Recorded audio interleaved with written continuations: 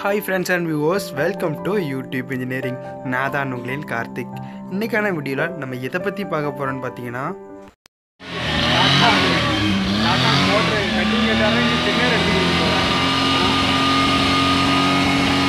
அள்ளி எரியுத இந்த பஞ்சாயத்து போட்டில் கொசுமே தடிக்கிறாங்க.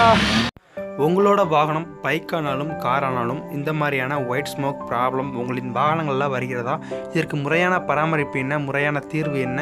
இந்த மாதிரியான புகை வாகனங்கள்லாம் வராமல் இருக்கா? என்னென்ன வழிமுறைகள்லாம் இருக்குது அப்படிங்கிறப்ப தான் இன்னைக்கான வீடியோவில் பார்க்க போகிறோம் இந்த வீடியோவை லாஸ்ட் வரைக்கும் கொஞ்சம் கூட ஸ்கிப் பண்ணாமல் பாருங்கள் அப்போ தான் நாங்கள் சொல்கிறது உங்களுக்கு புரியும்.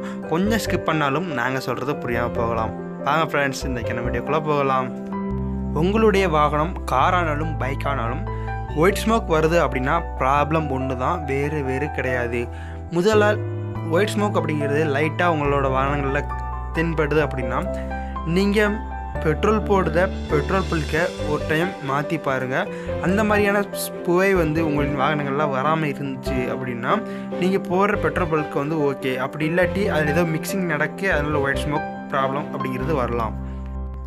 பெட்ரோல் இந்த ப்ராப்ளம் இல்லை அப்படிங்கிறது உங்களுக்கு கன்ஃபார்மாக தெரிஞ்சு அப்படின்னா இந்த மாதிரியான பிரச்சனை வரதுக்கு காரணம் உங்கள் வாகனங்களில் இருக்கக்கூடிய இன்ஜினில் இருக்கக்கூடிய ஆயில் ஆலை இந்த மாதிரியான பிரச்சனைகள் வந்து வரலாம்.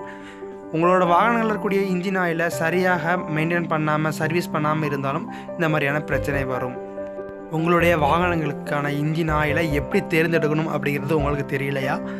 அது பார்க்கணும் அப்படின்னா இந்த வீடியோ ப்ளே கேட்டதுக்கு மேலே ரைட் சைடில் டேபில் பார்த்தீங்கன்னா ஒரு சின்ன ஐக்கான் வரும். அந்த ஐக்கானை கிளிக் பண்ணி பார்த்தீங்கன்னா உங்களோட இந்தியனுக்கான ஆயிலில் வந்து எப்படி தேர்ந்தெடுக்கணும் அப்படிங்கிற பற்றி ஒரு வீடியோ வந்து மேக் பண்ணி வச்சுருக்கோம்.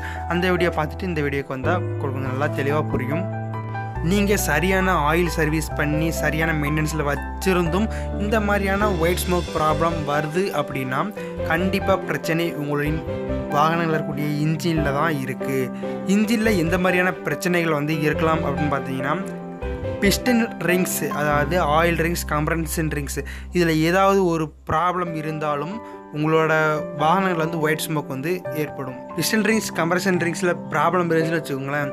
அதாவது பிஸ்டனோட மூமெண்ட் மேல் கீழ் நகர்வு அந்த அதெல்லாம் கிராங்க் வந்து உங்களுக்கு பிஸ்டனுக்கு எப்படி வந்து ரொட்டேட் ஆகிக்கிட்டு இருக்கும்.